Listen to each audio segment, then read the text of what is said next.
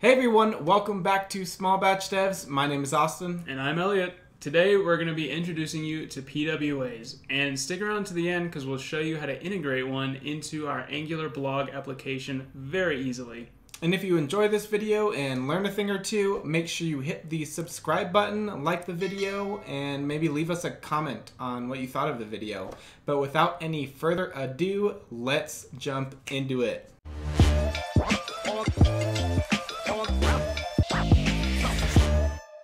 Elliot, tell us a little bit about what PWAs are. Sure. So a PWA or progressive web app allows us to use HTML, JavaScript, CSS to write web applications that feel like native mobile or desktop apps. So PWAs can access local files on your device, they can access the hardware, and other native features to your device, such as push notifications. And we can utilize frameworks like Angular and React to give us a big boost in easily integrating PWAs into our existing or new projects. So, why would I want to use a PWA? So, traditionally, if you wanted to create mobile applications, you would have to learn multiple programming languages in order to deploy to multiple uh, operating systems such as iOS or Android. But with PWAs, you can use that web development knowledge to build a PWA on top of your web application, which means you don't have to leave your web development comfort zone. PWAs bring all the great features of your native uh, mobile applications without your users having to download and install uh, the application. Yeah, what this means is that your users will see a button or banner on your website that will invite them to add your application to their home screen or desktop. This means you don't need to go to your device's native app store in order to get the app on their phone. Yeah, and PWAs also extend the ability of your application to work without the presence of an internet connection. So let's talk a little bit about how PWAs work. Yeah, at the core, a PWA is based around a service worker, and this service worker is just another file in your app. The PWA acts as a network proxy, which controls the cache around your app, kind of like a bubble. It controls outgoing and incoming requests and caches these responses so that your app can use them when it makes the same response in the future, making your app really fast. It also uses this cache when your device goes offline, so it still looks and feels as if the app is still connected to the internet. The service worker even lives on after the user has closed your application or tab in their browser. It still runs in the background. The service worker also ensures that your app is up to date. So whenever you as the developer push code to your server, new updates and features and whatnot, um, the server the service worker will ensure that the on the user side the code is up to date.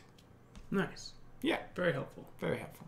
So let's go ahead and talk about the installation process for upgrading your already existing app um, to a PWA. So we had to go ahead and update our Angular version to Angular 10.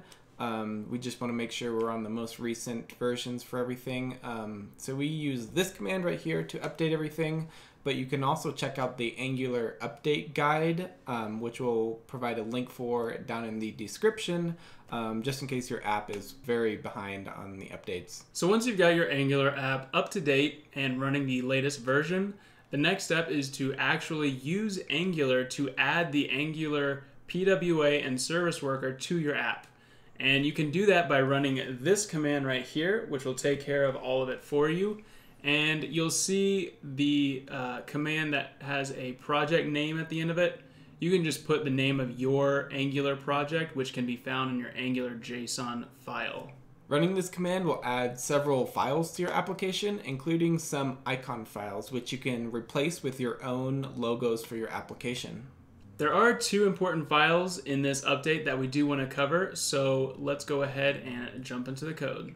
So the first file we've got open on the screen is the manifest.webmanifest file. And you can see here it's just got some basic information that the browser needs to know about our PWA to enhance the experience for the user.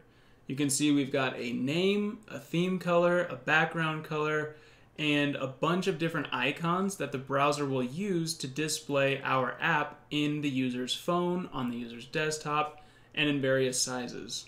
The second file we're going to look at is the ngsw-config file, and this file controls how your service worker operates. It has information on what to cache and when.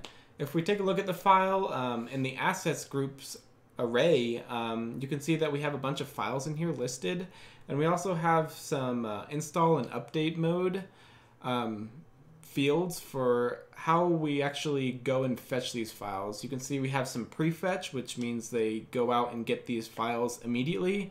Um, and a little further down, we also use lazy, which means it just goes out and gets these files whenever we actually need them. So now we've got our terminal open and we're going to build the production version of our Angular application. And to do that, we just simply run ng build hyphen hyphen prod.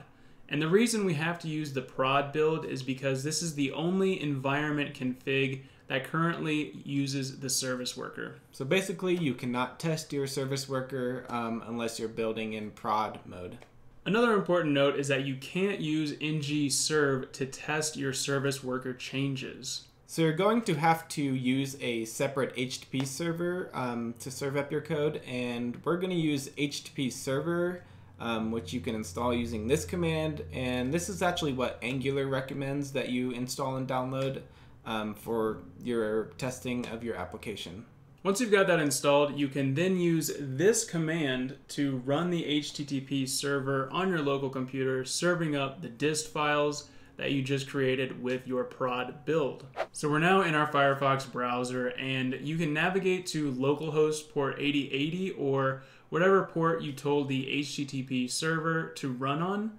And it is important that you use the word localhost instead of your IP address for your local computer, which is the 127.001 IP address. And this is because the service worker looks for localhost to determine if it's in a development environment. So this is a security precaution actually. A service worker will only run if the URL is on localhost uh, or is served over HTTPS so that people can mess with the files that the service worker is handling. So now that we're in our Firefox browser, we're going to open the DevTools and navigate to the Application tab. And you can see we already have a service worker registered. If we go to the Network tab, um, you can see that all these files are actually being uh, served up by the service worker. Um, and that is because the service worker cached them uh, when it was registered. So now let's do something crazy and turn off our network connection. In Chrome, you would find the work offline mode in the network tab, but in Firefox, we do have to go through a couple hoops. So we're gonna go up to the top, hit this hamburger menu, hit web developer, and then check this work offline. And as soon as we reload the page, you'll see that it works fine, but we have no data. And so our app is still running with the service worker's help. So now let's talk about updating our code and testing that updated code along with the service worker. We're going to make a quick change to some of our HTML, something that's easy to spot, and then we're going to rebuild the production version of our application with ng build hyphen hyphen prod.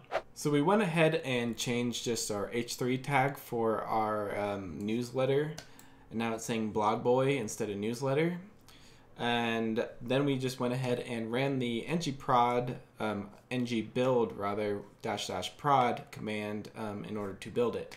So go ahead and run your serve command and when you get to your browser and reload you'll notice that your changes haven't taken effect. So we're here back on the blog in our firefox and we just hit reload and it is online because we're getting data but join our newsletter hasn't changed changed to join our blog, boy. what that? gives? What gives? So the reason our app hasn't updated yet is because the service worker prioritizes speed over updates. So basically it served up whatever app files it had cached and in the background it is downloading all the updates to our application. So now if we refresh one more time, you will see the updates. And there we go. Didn't say boy. That's probably because I built the application before we added the boy. so for this next part, we did need to switch to Chrome because we couldn't find the button in Firefox, but that's besides the point. So one last thing before you go is that to get this PWA on your desktop or on your mobile device, you will just navigate to this URL And in Chrome, there's going to be this add to home screen button or install button in the URL bar. You just click that and boom, it is on your device and it will run in its own window if you're on desktop, acting like its own application. And I will add to that real quick. If you are on an iOS device, you will need to use Safari in order to get the PWA on your home screen. So today we covered a brief introduction into the world of PWAs and service workers. We talked about how to install and add one to your Angular application, as well as the testing requirements and environment requirements when dealing with a service worker on your development machine. As always, thank you very much for watching this video. We hope you learned something. Uh, don't forget to like the video, subscribe to the channel, and hit the notification bell. And maybe follow us on the social medias. Yes. All the social medias Twitter, Instagram, Facebook. Anyways, thanks for watching, guys. Peace.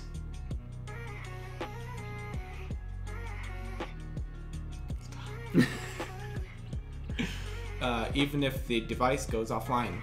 I think you said what I was supposed to say. Shit. It's okay, I'll just say yours. Uh,